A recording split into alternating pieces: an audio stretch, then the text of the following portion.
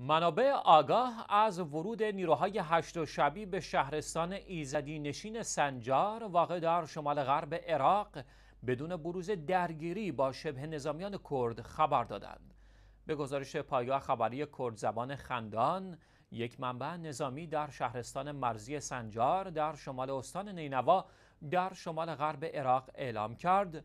نیروهای هشت شبی وارد مرکز این شهرستان ایزدی نشین شدند بدون آنکه هیچ گونه رویارویی میان آنها و نیروهای پیشمرگه اقلیم کردستان روی دهد. بر اساس این گزارش منبع مذکور با بیان اینکه نیروهای پیشمرگه شب قبل از آن از سنجار یا به گویش محلی شنگال عقب نشینی کرده بودند تاکید کرد که شبه نظامیان یگانهای مدافع شنگال YBS وابسته به حزب کارگران کردستان پکک نیز همچنان در اماکن خود در این شهرستان باقی مانده اند و هیچ درگیری میان آنها و نیروهای عراقی روی نداده است.